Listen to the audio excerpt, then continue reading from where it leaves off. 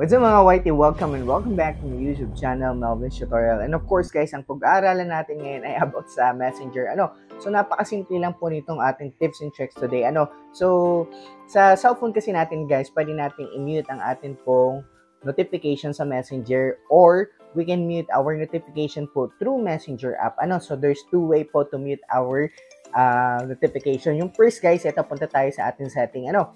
So, andito guys kayo sa aking cellphone. Punta tayo sa setting natin. Then, pagpunta mo sa setting ng iyong phone, hanapin mo dito yung Ayan po, yung listahan ng mga app, ano, o app management. So, ito po yung app list natin.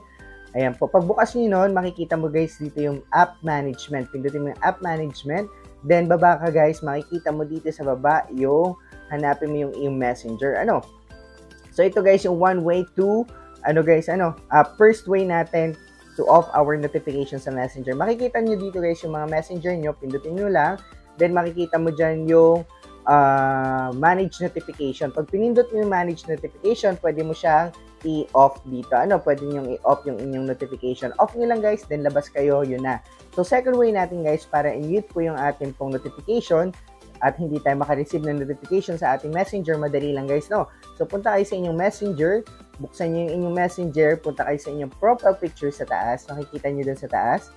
Of course, open nyo yun. Then, makikita nyo guys dito yung baba kayo dito. Ano, makikita nyo yung notification and sound. So, open nyo yung notification and sound. Then, makikita mo guys dito ay ayan po, off notification sound. Ano, ayan po, ano. So, ayan po.